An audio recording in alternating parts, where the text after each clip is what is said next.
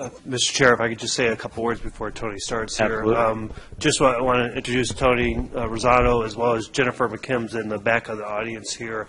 Uh, They've been the two main people on this project for the last four years, uh, stuck out in the middle of the EAA uh, every day, uh, you know, making sure the contractors perform in the way they are supposed to, making sure that they stay under schedule, that they uh, uh, save as much money and and bring these projects under budget.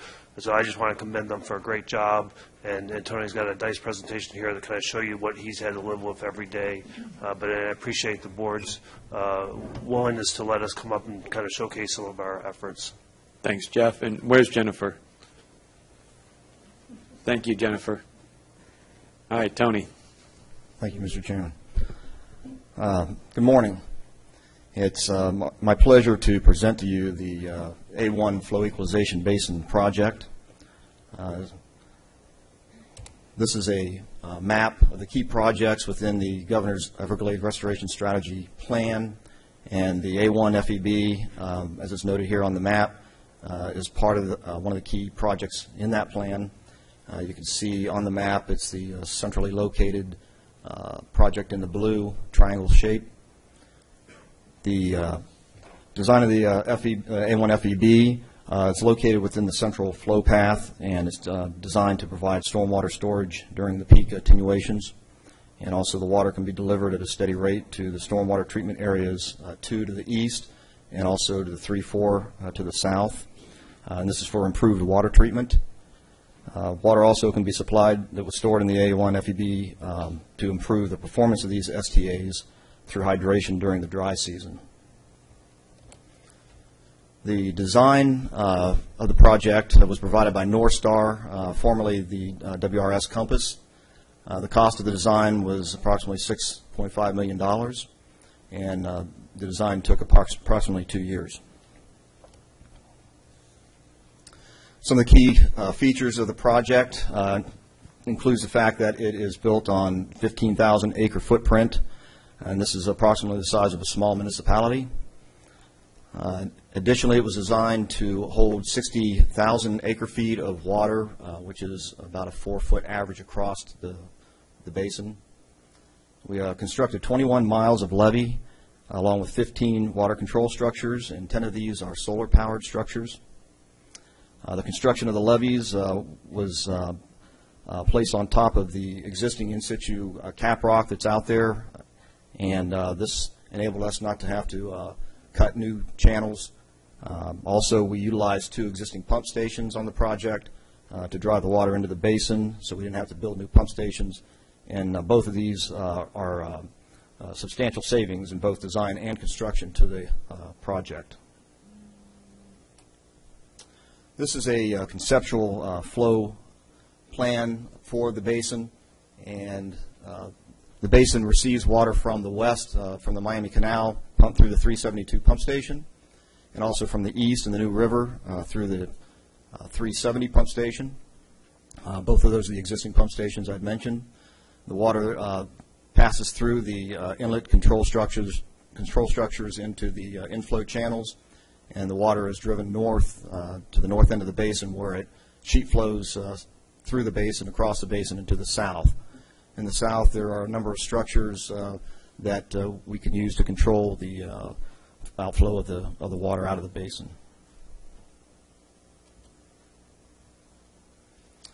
Again, the construction management team uh, includes Jennifer McKim, uh, she was introduced, and also uh, the prime contractor on this project was Central Florida Equipment, Inc., and they are a contractor out of the North Miami area, so they're, they're a regional contractor. Uh, In the construction, we had 21 miles of levee construction, uh, which uh, required about 1.6 million cubic uh, yards of fill material, and all this material was uh, mined and processed on the site. We also utilized 75,000 cubic yards of aggregate that was uh, already there on the site from previous projects. We utilized this material for bedding stone under our riprap systems on the levees, as well as uh, in our uh, concrete, for the aggregate in our concrete mixes. Again, all this material was mined and processed on the site, some of it previously. The contractor utilized more than 20, uh, 20 40-ton articulated dump trucks in the process. We had an aggressive construction schedule of 20 months, uh, and within that duration, we achieved substantial completion of the project. Uh, Additionally, on average, uh, we had uh, 150 construction personnel daily during this period, over the 20-month period. And these are all local trades, workers, as well as contractors and materials suppliers. The project also required some substantial de- de- muck- uh, degrading of muck as well as backfilling of canals, and we uh, degraded about 3.1 million cubic yards of muck, spread it on the adjacent areas uh, throughout the basin. We also uh, spread it on the levee banks, as you can see in the right corner there where we spotted it. We spread that to uh, grow grass for our bank stabilization. In addition to that, in the interior of the basin, we backfilled about 113 miles of agricultural swales and canals. Uh, Some of the structures include the uh, west inflow structure. This is a three-bay roller gate structure. Um, It, the, uh, the gates are uh, fabricated out of stainless steel. Each gate weighs about 20,000 pounds. Uh, Collectively, with all the 15 structures, uh, took about 2,100 tons of steel, and this is over 4 million pounds of steel that was used to construct the structures out there. It also uh, required 16,500 cubic yards of concrete. Uh, the, uh, project has a bypass structure that was designed, which we constructed. It's unique. Uh, This is the only one uh, currently in our, uh, in in the district. Uh, It's a three-barrel 10 by 10 concrete box culvert cast in place.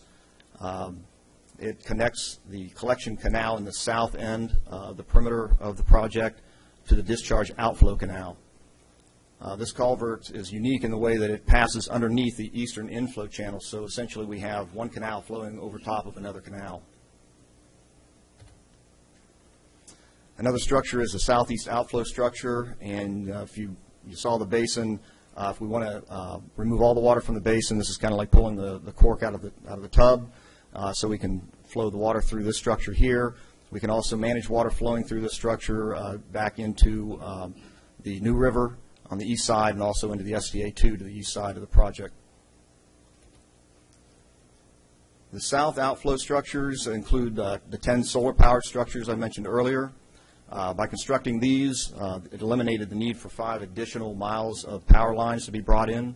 Uh, Furthermore, um, it eliminated 10 uh, additional control buildings, and again, this was to a substantial savings to the project. Uh, Some of the challenges that we faced out there constructing, it was like working in a moonscape. It was very dusty and and rocky. Um, The, uh, it required a considerable amount of blasting so that we could drive sheet pile and also uh, perform excavations uh, so that we could uh, construct the structures. Extensive dewatering was also required. Um, We employed uh, several techniques. A couple of them here is the use of temporary coffer dams where we could uh, dry out the area and uh, construct the the structures in the dry.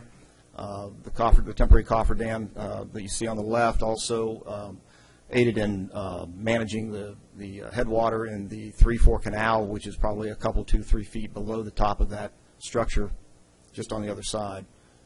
We also utilized uh, trenches. Uh, We we dug three-foot wide by over 20-foot deep tr- uh, trenches through the cap rock uh, so that we could uh, uh, collect the water in those locations along large uh, excavation pits. And uh, we employed large uh, dewatering pumps in those locations to uh, move the water away from the construction sites. We also uh, dug trenches outboard of these to uh, cut the the flow of the uh, the uh, groundwater off to, to uh, help us dry those areas out. And then the uh, massive amount of concrete that was uh, placed in this project, uh, we utilized nighttime pours for most of the large pours, and this was, uh, uh, enabled us to manage the uh, control of temperature of the concrete and the placement, finishing, and also the curing processes. So in summary, um, the construction is complete on the largest flow equalization basin in Florida. Uh, So this is a big success. First, this is the first restoration strategy project to be completed to date. Uh, I'd like to point out the cost of construction is $61,700,000 is well below the uh, engineer's construction cost estimates, somewhere in the neighborhood of about $10 million. Um, And again, uh, the district's Office of Public Affairs is currently working on a schedule for a ribbon cer- uh, ribbon breaking uh, cutting ceremony later this fall. So we're looking forward to that and uh, celebrating the success.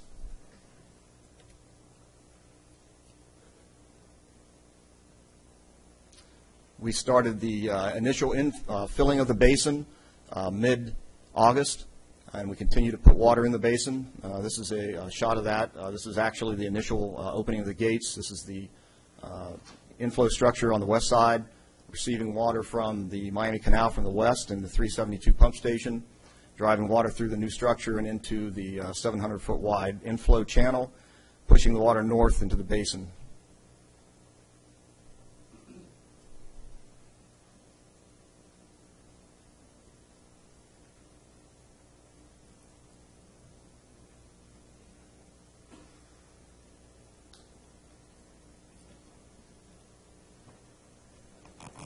Similarly, this is the uh, inflow structure on the east side of the project, and you're looking north uh, through the uh, inflow channel there.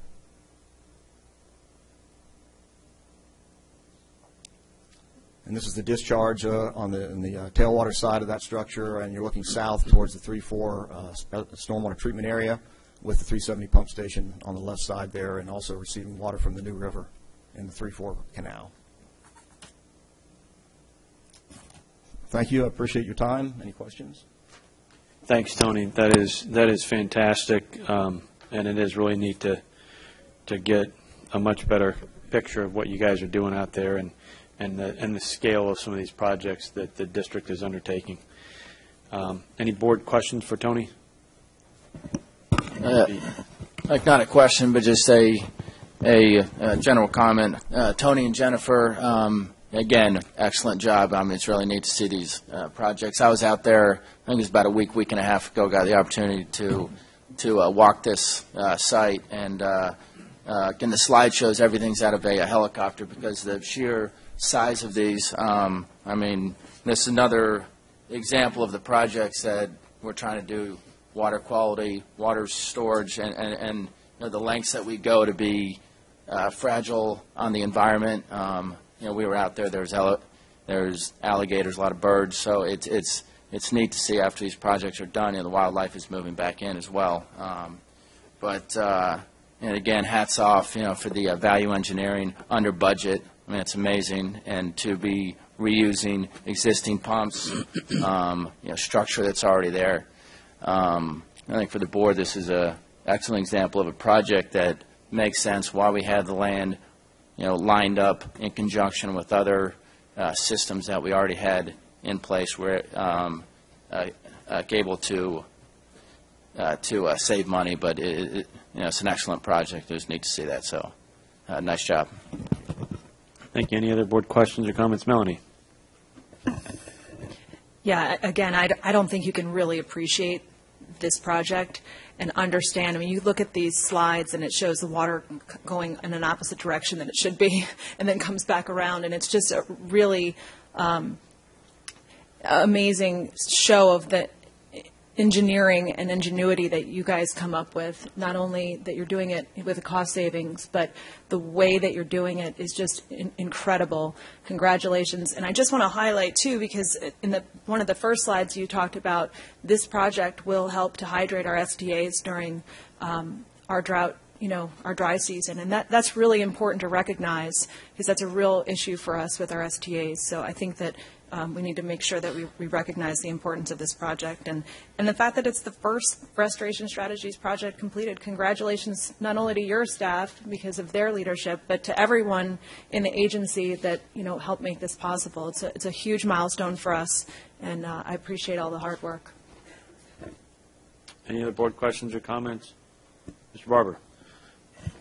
Very briefly, could you explain how the bypass structure works? The bypass structure, um, there was an existing seepage canal on the north side of the 3-4 canal um, that now is the collection canal in the south of the basin. So it's a a ditch that's uh, along that area.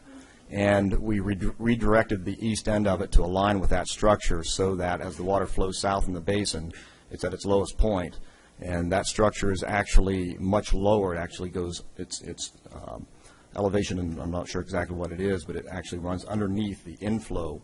Uh, In fact, you can look at the slide right now, and in the background is the uh, inflow bay to the the southeast corner, and that structure runs um, underneath that, so it allows us to drain the water in the basin underneath that inflow channel and into an outflow channel in the, uh, one of the outflow structures. It is, it's not, it's a passive, it's a three, three-barrel uh, uh, culverted structure, uh, but on the east side of that, uh, there's a canal which leads to a three, uh, three-gated stem structure that does control the water flowing out of there. So it's a, like a fixed crest weir? It's not even a- a, a weir, It just literally is, as the water level uh, rises and lowers, it's just, that's the elevation within that culvert. Okay, thank you. We can get you the engineering specs on it, Mr. Barber.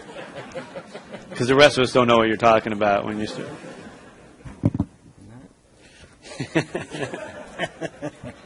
But we- I- I would we're be glad to impressed do with, I, I would be glad to do that for you, though. very, very impressive. Um, Mr. Mr. Moran? It is very impressive. Um, But let me ask you about this FEB concept. Is that something that's been used uh, in other places in the country? And, and uh, did we, did we investigate the successes that they had with it? I'll defer to Jeff on that question, please. From a um, environmental restoration, I would say no. Um, But I think from a industry of civil engineering practice, it's something that's used extremely um, in the wastewater industry, where they, at the head of their plants, they put in large tanks to collect those peak flows, and then they treat over a 24-hour period. And so using that kind of industry standard, we applied to the environmental aspects of this, and then through our modeling, we're able to show that that additional treatment plus that stabilization of flow going into that STA would perform uh, and give us much better performance of the STA. Thank you. Okay. Um, Mr. Hutchcraft? Uh, Again, I I appreciate the, the comments from the board, but I think it is absolutely worth uh, spiking the football a little bit on, on this. It it recognizes a couple of things. One is the, uh, the the dedication of staff, and so I appreciate all the hard work of staff, the commitment of the board to uh, advance and complete projects. Uh, And we've heard lots of conversation over the last year about, you know, we're not making progress, and I think this demonstrates that we are making progress. We're making progress in the right locations. We're doing it in a cost-effective manner. Uh, We're utilizing the resources that we have to, uh, to im- improve the water uh, flow and the water quality, Uh, and we're doing it in a manner that will maximize the effectiveness of of our STAs. And I think our STAs have proven that they're a workhorse, uh, and and this is only going to maximize that. So I I think it's, uh, it's definitely worth a uh, a rally cry. Thank you. Th- Thanks, Mitch. Kevin? Um, Well, I was going to follow Rick with some technical questions, but I'm going to pass on that. Um, I- I'm with Mitch. I I can't resist spiking the ball and and just uh, um, e- echo everything that that you said. Massive uh, storage and treatment south of Lake, it's the simple things, right? Massive storage and treatment south of Lake Okeechobee, a project that's brought in on time, a project that's brought in un- under budget. Um, and- and, staff, you guys have done an incredible job of, of really standing behind what this board believes in. And, and, and, and time and time again, finish projects, finish projects, and the momen- momentum that comes with it. And this is great. Uh, this is awesome. Um, be a little sarcastic, but I'm sure in my local paper that we'll see the big bold headlines above the fold uh, echoing the success of this. But it, it real, it really, it really is. Um, thank you. Thank you, Ms. Batchelor. Um, Ditto on all the comments from the board members. Thank you for your good presentation. I just think, in addition, it shows the public how effective and wonderfully their taxpayer dollars are being used. It's prima facie evidence that we have some of the best and the brightest scientists and engineers working on behalf of our people in this state. So I would ask you to also to continue to bring the projects forward, particularly for us that are not non-engineer, the pretty pictures and everything. It really is It's very impressive, so thank you to each and every one of you. Ex- Excellent comment, Sandy. I, I I agree. Thank you, Tony. Thank you. Any public uh, comment? Yes, sir, we have one, Mark Perry. Mr. Perry, good morning and welcome.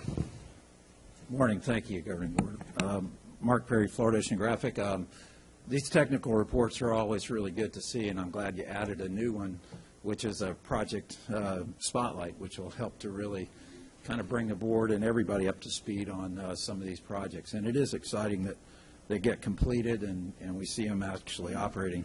Up in the Upper East Coast Basin, basically, we've got a lot of inflow from C-44, C-23, C-24, and even 10 Mile Creek at the Gordy Road structure. All of those have two to five to 600 CFS coming through, about 922 million gallons a day, uh, which has dropped the salinity, as you saw in, in Terrie Bates's presentation, at the Roosevelt Bridge in the middle estuary down to eight parts per thousand, which is pretty low for even oyster, and- and out in the outer estuary to 15 parts per thousand, which is kind of the critical limit for seagrass. So we're anxious to get projects, of course, up in that area, which we'll talk about in the integrated delivery schedule and others, but that is important to know that those structures are controlled also at the district level, and whatever we can do to store and treat water and hold water back in those canals, rather than dumping them out into the estuary, is, is going to be helpful. I think when we see the lake going at 13 and a half feet right now, and about 12,000 CFS coming in, that's 7.7 billion gallons a day coming in, and only 43 CFS going out to the south. It's like 27 million gallons a day going out. This, this really shows the need right now. We've got a critical time that's setting up almost like 1970, 1997, 98. And I remember those times well because we were in a dry season. Nobody was thinking in January that the lake would jump right up uh, to critical levels and we'd start discharging both east and west. And all the way through April, got critical discharges uh, because the lake rose so fast because of El Nino. And this El Nino is setting up to be even stronger perhaps than that other one. So a big word of caution is right now, when maybe we even have capacity in the A1 um, FEB here, maybe we ought to start moving some more water out of the lake south. The canals are all at about 9.8 or 10 feet in elevation. We have capacity, we can move it south and perhaps uh, store it in the FEB and then moving in through the STAs and so forth down the line. So I'm glad to see a project's underway to help, help store and treat this water moving it south. And maybe now's a critical time to use that. So I, I really hope that we do that. And also the Florida Bay issue, we were at RAC, as Mr. Moran uh, indicated. Uh, That's a really critical thing to get some flows down into Florida Bay and help alleviate those uh, salinities. Um, And then lastly, uh, Mr. Moran mentioned the suction dredge. And don't forget that in the IRL South Plan, which is the authorized appropriated plan, that there are about 7.9 million cubic yards of muck that needs to be removed out of the St. Lucie estuary Indian River. So we could use a suction dredge down there, and we get some practice with it, and then we could, we could get it up to our spot and start using it. Thank you very much. Thank you, Mr. Perry. Okay, um, actually, Tom, I'm going to, I'm going to move agenda item 37 down to, we're going to do that after agenda item 40, and let's skip to uh, agenda item 38, which is exotic vegetation control at the Loxahatchee National Wildlife Refuge, and Karen will give us an update on that. Yeah, so I'm just going to do some introductions, and staff's going to do two presentations. But before we um, get to our two presentations this morning on the Loxahatchee National Wildlife Refuge, I'd like to acknowledge some of our state and federal partners that have joined us in the audience today. Uh, Ernie Mark.